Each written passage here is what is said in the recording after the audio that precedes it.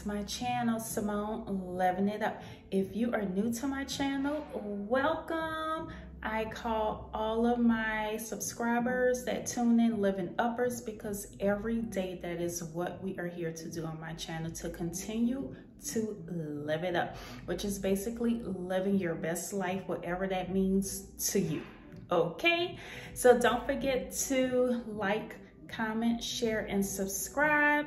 So we done with all that business. From the title, we will be diving into the outdoor furniture selection that I had selected to set up the gazebo. Right now, the gazebo is completely done. Let's just take a deeper dive into why we chose to do a gazebo over a pergola as well as a pavilion. So I'll take a deeper dive into those and tell you the differences of those and show you the final outcome and how I designed it. But that would be a separate video that I'll we did get our covered patio extended by our builder before we moved in our home.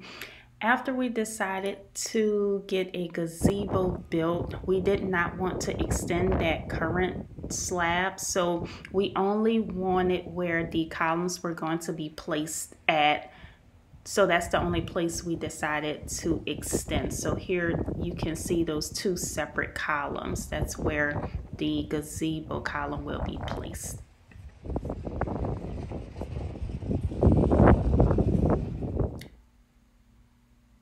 we decided to go with a gazebo because the main difference between the gazebo that you see here and the next clip will be the pergola is the functionality of the roof.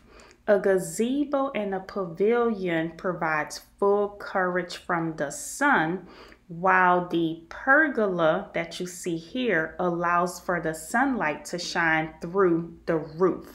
So the gazebo provides full coverage from the sun. It gives us that functionality while we are sitting outside. We don't have to worry about the sun nor other inclement weather. If it's raining outside, we can fully enjoy ourselves while we are outside under the gazebo. So I had just wanted to point out those differences between the gazebo, pergola, as well as the pavilion.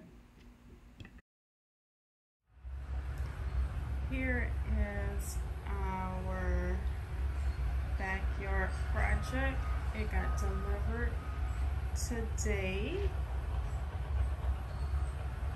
It took three men delivering it as well as my husband assisted.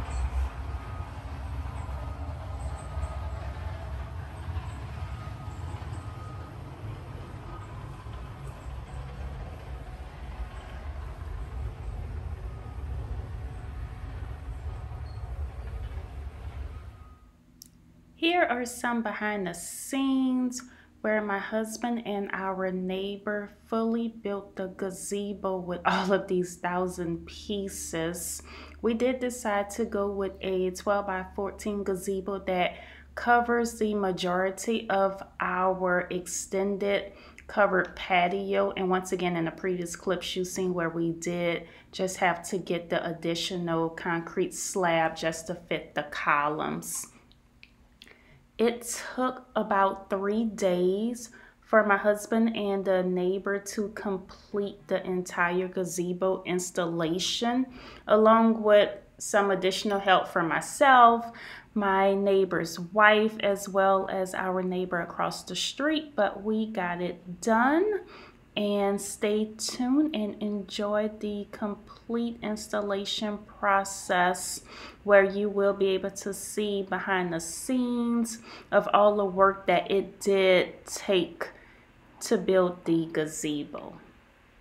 Enjoy.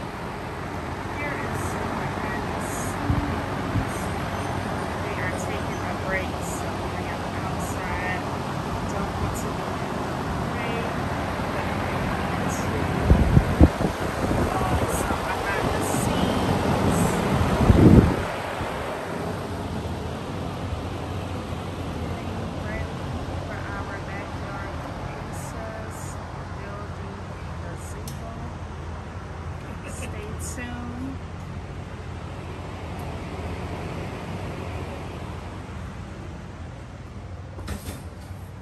Look at all everything it takes to actually build the gazebo.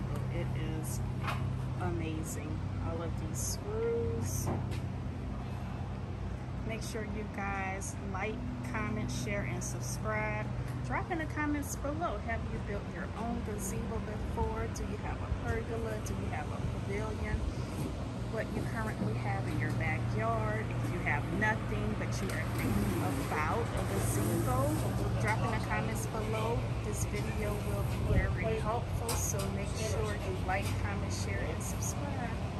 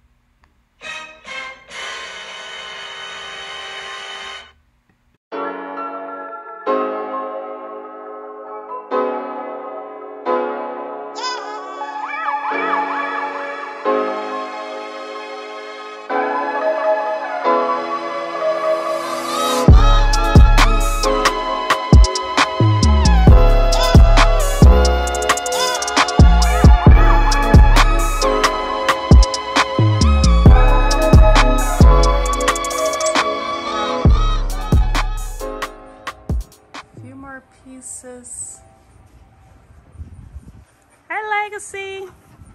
Hey, girl. Hey, girl. You excited? You excited? Stay tuned for the final product.